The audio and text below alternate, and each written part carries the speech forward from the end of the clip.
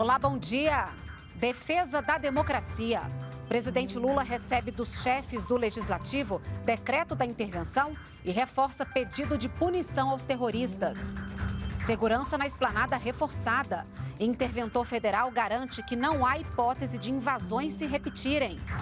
Uma cerimônia, duas posses e muita brasilidade.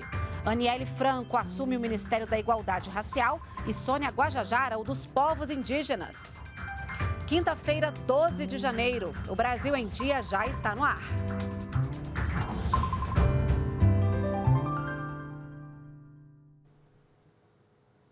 Oito horas da manhã, estamos ao vivo também pelas redes sociais. O presidente Lula recebeu no Palácio do Planalto parlamentares e os chefes do Poder Legislativo.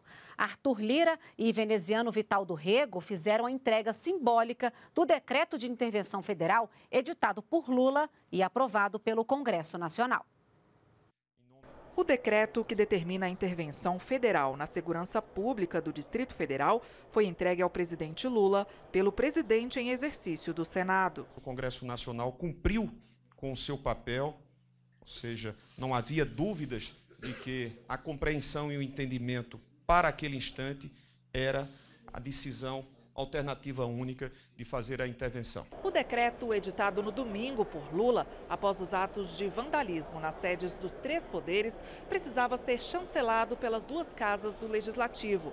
O Senado votou o texto na terça-feira, que já tinha sido aprovado pela Câmara um dia antes. O ato de entrega do projeto de decreto legislativo número 1 de 23, editado por Vossa Excelência e referendado pelo Congresso Nacional, cumpre o rito democrático, legal e constitucional da efetivação dessas ações que, por certo, terão rumo daqui para frente com muito diálogo, mas com muita firmeza em defesa dos preceitos maiores da nossa Constituição. O presidente Lula agradeceu o apoio do Congresso Nacional e afirmou que todos que desrespeitarem a ordem democrática vão ser punidos com o rigor da lei. E o que vocês estão fazendo com esse decreto é dizendo que a gente tem que punir quem não quer respeitar a lei.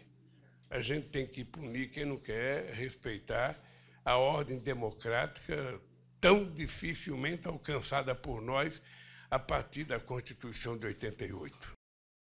A esplanada dos ministérios em Brasília teve a segurança reforçada após convocações de novas manifestações. E o Supremo Tribunal Federal determinou a prisão e multa para quem fechar vias e invadir prédios públicos durante protestos. A lei será cumprida. A afirmação do interventor federal na segurança pública do Distrito Federal é para garantir que atos de terrorismo, como os de domingo, não vão mais acontecer. Não há hipótese de se repetir os fatos inaceitáveis que aconteceram no último dia 8.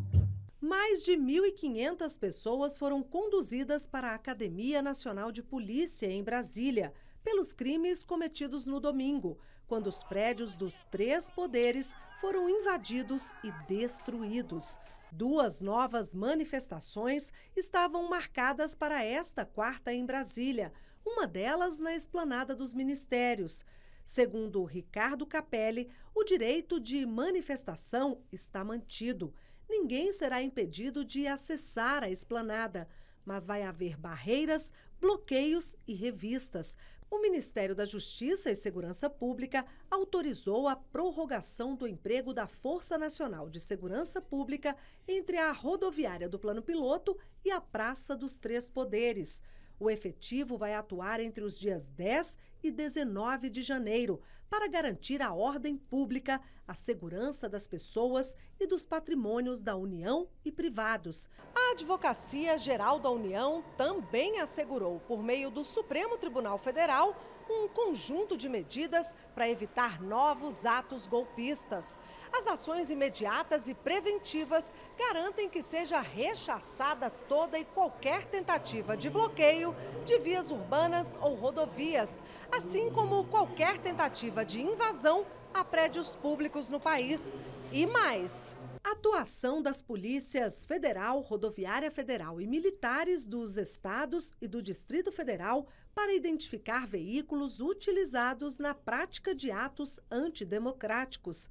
prisão em flagrante de todos aqueles que desobedecerem às decisões, bloqueio de contas no Telegram de perfis envolvidos na preparação e realização de atos golpistas. Os pedidos foram integralmente acolhidos pelo STF por meio do ministro Alexandre de Moraes, que também estabeleceu multa diária de 100 mil reais caso o Telegram não realize no prazo de duas horas o bloqueio das contas e dos grupos identificados no pedido da AGU. A lei será cumprida. O direito à livre manifestação não se confunde com terrorismo. E de acordo com o último balanço, ao todo 1.843 pessoas foram detidas pela Polícia Militar e conduzidas para a Academia Nacional da Polícia Federal aqui em Brasília após os ataques às sedes dos três poderes. Todos os detidos foram identificados e vão responder, na medida de suas responsabilidades, por crimes de terrorismo, associação criminosa, atentado contra o Estado Democrático de Direito, golpe de Estado, perseguição, incitação ao crime, entre outros. A Polícia Federal interrogou e prendeu 1.159 pessoas, que foram levadas para o Instituto Médico Legal e depois para o sistema prisional. As duas últimas ministras tomaram posse ontem no Palácio do Planalto. Aniele Franco, irmã de Marielle, assumiu o Ministério da Igualdade Racial e Sônia Guajajara tornou-se ministra dos Povos Indígenas. O ato conjunto ocorreu no Palácio do Planalto e foi o primeiro grande evento após os ataques que destruíram parte do prédio. As ministras foram recebidas com uma celebração indígena e também com o batuque de um grupo de afoxé. Aniele Franco e Sônia Guajajara chegaram para a cerimônia acompanhadas pelo presidente Luiz Inácio Lula da Silva e outros ministros.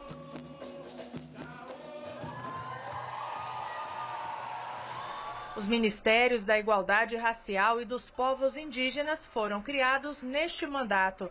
A primeira a falar foi Sônia Guajajara, do Ministério dos Povos Indígenas. Estamos nas cidades, nas aldeias, nas florestas, exercendo os mais diversos ofícios que vocês possam imaginar. Vivemos no mesmo tempo e espaço que qualquer um de vocês. Somos contemporâneos desse presente e vamos construir o Brasil do futuro. A jornalista Aniele Franco fundou em 2020 o Instituto Marielle Franco, que carrega o nome da irmã, a ex-vereadora do Rio de Janeiro, assassinada em 2018. Em seu discurso, a ministra da Igualdade Racial assumiu o compromisso de fortalecer a lei de cotas e a ampliação da presença de jovens negros e pobres nas universidades públicas. Ela também disse que o enfrentamento ao racismo é um dever de todos. Encarar a realidade de que essa política da guerra nas favelas e periferias nunca funcionou. Pelo contrário, apenas segue dilacerando famílias e alimentando um ciclo de violência sem fim. Trabalharemos nos próximos quatro anos para fortalecer a lei de cotas e ampliar a presença de jovens negros e pobres na universidade pública. Nesta mesma cerimônia, o presidente Lula sancionou um projeto de lei que tipifica injúria racial como crime de racismo. Essa alteração aumenta a pena mínima, antes prevista de um ano a três anos, para a pena de reclusão de dois a cinco anos, além de multa. E prevê o aumento da pena se o crime for cometido por duas ou mais pessoas. E a ministra Simone Tebet apresentou as prioridades e a equipe do Ministério do Planejamento e Orçamento. A ministra do Planejamento e Orçamento, Simone Tebet, apresentou em Brasília a equipe que está à frente das principais secretarias que formam a pasta. Gustavo Guimarães é o secretário executivo do Ministério, Liani Lemos, a secretária de Planejamento, Paulo Bijos assume a SOF, Secretaria de Orçamento Federal. Renata Amaral comanda a Secretaria de Assuntos Econômicos e Sérgio Firpo está à frente da nova Secretaria de Monitoramento e Avaliação de Políticas Públicas. A nossa prioridade é gastar bem o pouco que se tem. Eficiência, eficácia, isso requer, obviamente, um planejamento Isso requer uma avaliação periódica com monitoramento das políticas públicas que estão sendo executadas pelo governo federal em todas as suas pastas, e isso requer que nós, ao lado do Ministério da Fazenda, que tem a chave do cofre da mão, sejamos rigorosos, não só na análise legal, técnica do orçamento, mas também da, da decisão do que gastar, como gastar dentro da prioridade. A ministra também deixou claro que as decisões da pasta serão técnicas e que as análises políticas serão dadas em conjunto com a Casa Civil e demais ministérios. Nós vamos estar sempre discutindo as relevâncias e as prioridades das políticas públicas para levar a decisão final do presidente da República, Luiz Inácio Lula da Silva. O presidente Lula anunciou a formalização de Belém, no Pará, como a candidata brasileira à cidade sede da COP30, a Conferência do Clima de 2025. O anúncio foi feito após reunião com o governador do Pará, Helder Barbalho. O Itamaraty formalizou a cidade de Belém como cidade que está disputando a candidatura para realizar a COP30 em Belém. Eu tinha assumido um compromisso no Egito, na COP27, de que a COP30 poderia ser realizada no Brasil. E eu fiquei feliz quando o nosso ministro Mauro Vieira formalizou ao governador Helder a cidade de Belém. Espero que a gente esteja lá para fazer uma bela COP. O ministro do Desenvolvimento Social, Wellington Dias, afirmou que o governo está em fase de atualização do cadastro de quem recebe o Bolsa Família, para que novos beneficiários ingressem no programa. Nós vamos ter as condições de, em fevereiro, é, já iniciar as condições de ter a entrada não é, da, de pessoas que estão fora do Bolsa Família e também já iniciar a liberação dos cartões com o pagamento dos 150 reais com base nessa atualização cadastral. Termina semana que vem, 20 de janeiro, o prazo para solicitar a dispensa da prova do ENAD 2022, o Exame Nacional de Desempenho dos Estudantes. O pedido pode ser feito por meio do sistema ENAD e é preciso comprovar o motivo da falta mediante documentação e conforme as exigências previstas em edital. Outras informações no site gov.br/inep. Ao programa de rádio A Voz do Brasil, o ministro da Secretaria de Comunicação da Presidência, Paulo Pimenta, afirmou que o governo pretende reforçar o trabalho das ouvidorias federais por meio das redes sociais. As redes sociais, elas são esse mecanismo que permite que o governo possa ouvir. Né? Nós vamos ter um cuidado muito grande em todos os ministérios. A nossa, a nossa forma de atuação é uma forma de abrir canais de participação. Nós vamos voltar a valorizar muito a criação de conselhos, a criação de ouvidorias, espaços para que a população seja ouvida. E com certeza esse é um compromisso inegociável do nosso governo. Ainda nessa entrevista à Voz do Brasil, o ministro garantiu que o governo vai combater as fake news. O Brasil enfrentando uma pandemia como a pandemia do Covid, o cidadão tem que saber que quando o governo diz a melhor forma de prevenir a doença é a vacina, que o governo está falando aquilo com base científica, não por uma opinião ideológica de um ou de outro integrante do governo.